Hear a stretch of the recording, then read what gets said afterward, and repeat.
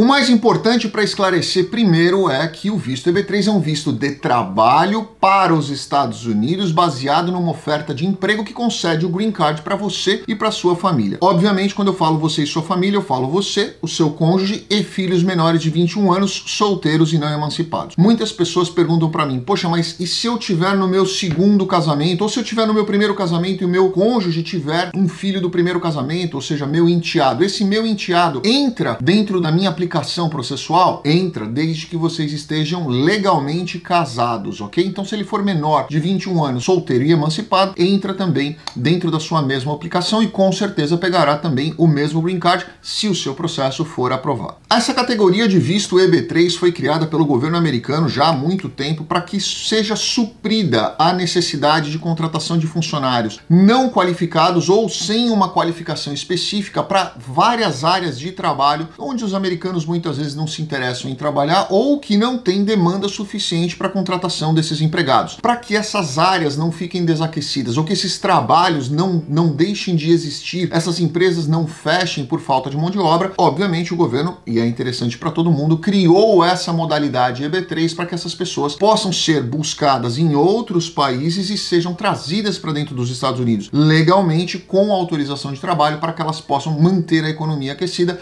e essas empresas funcionando funcionando normalmente.